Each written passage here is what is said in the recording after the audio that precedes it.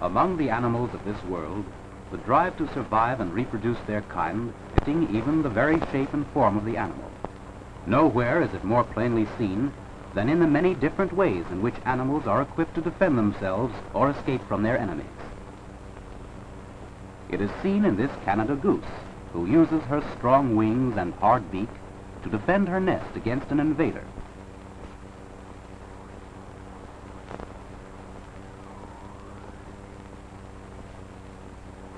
Once an animal has detected an enemy by sight, sound, or smell, it is generally equipped in one of several ways to defend itself. Let's look at some of these.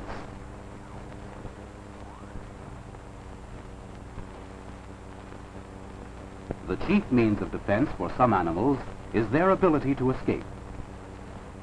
Members of the deer family escape by their fleetness of foot or by fighting off their enemies with sharp horns and hooves.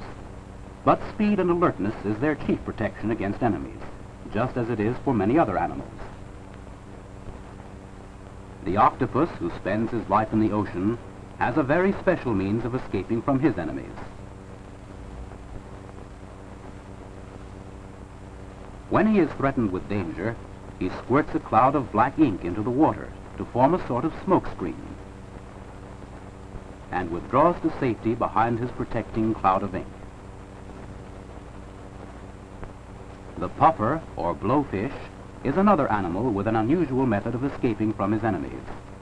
When he's attacked, he blows himself up like a balloon, using a small valve in his throat to hold the water which he takes in, so that he becomes much too large a bite for any fish who starts to eat him. And when danger is past, he merely deflates himself and then swims away safely.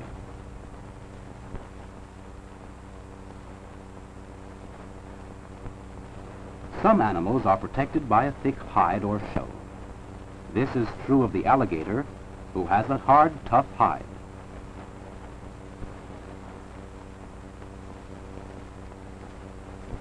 He also has sharp teeth with which to tear his food or fight his enemies. And when two alligators attack each other, it is the stronger one with the sharper teeth and the tougher hide who swims away leaving death behind him.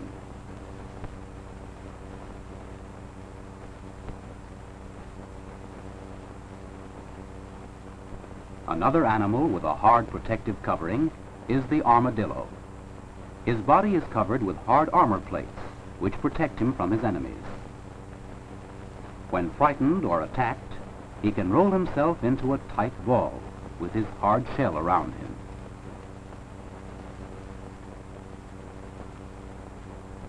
The box turtle is equipped to protect himself in much the same manner. And when he is attacked by a family of hungry little baby mink, his hard shell comes in handy.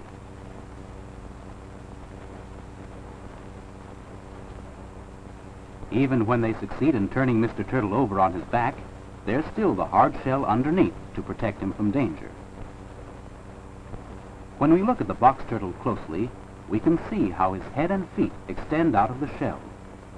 But when danger is near, he pulls everything inside and closes his shell tightly to make a hard protective box for himself.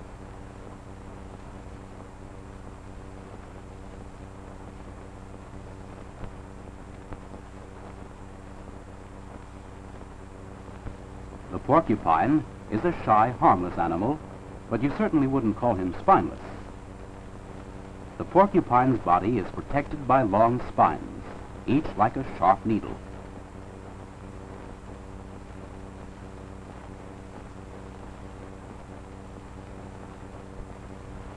Even the fierce wildcat has learned to leave him strictly alone. The porcupine gets out of the way just to be on the safe side.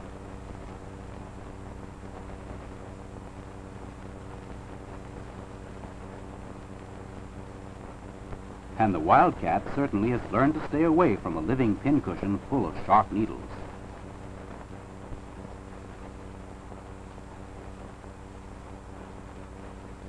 Some animals are protected by their shape or by the color and nature of their covering. The polar bear is easily seen in the water, but on the ice and snow, his white coat blends with the background and is much more difficult to see from a distance. In much the same way, the flounder, a saltwater fish, blends with the bottom of the ocean where he lives. His curious flattened body and spotted coat help to hide him from his enemies.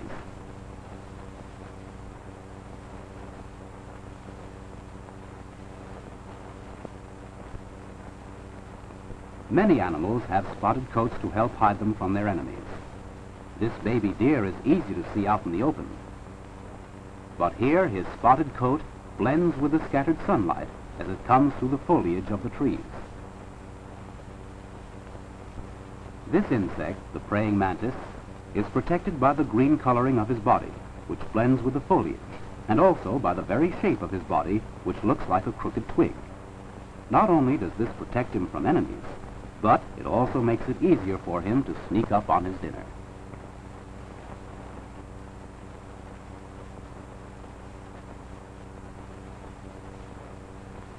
Some animals are equipped to kill or paralyze their enemies by means of poison. The scorpion illustrates this method of defense, for like many other animals, the scorpion has a stinging apparatus. His sting, located in his long pointed tail, contains a poison which can paralyze or kill many of his enemies. Seizing his enemy with his sharp claws, he searches for a spot in which to insert his poison sting one very positive means of defense.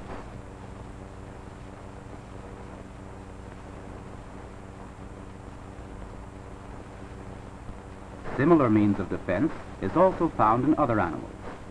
Some snakes, like the rattlesnake, have poison fangs located in their mouths. This is the rattlesnake's means of defense.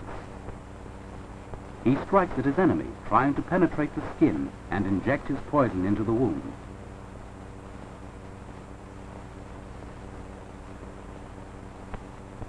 At the end of the rattlesnake's tail, there are rattles which sound a warning to all who approach, a warning to stay away from the deadly poison fangs, which can be used in an instant's notice.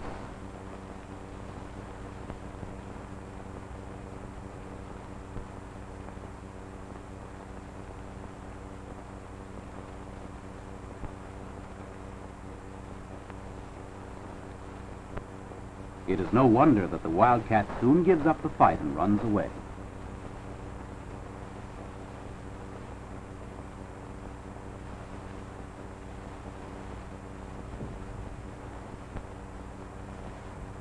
All animals have some means of defense, and almost everyone has more than one means.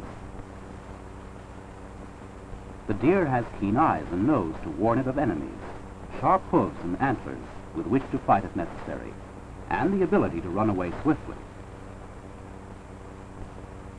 The alligator is protected by its tough hide, but it also has strong, sharp teeth with which to fight if necessary.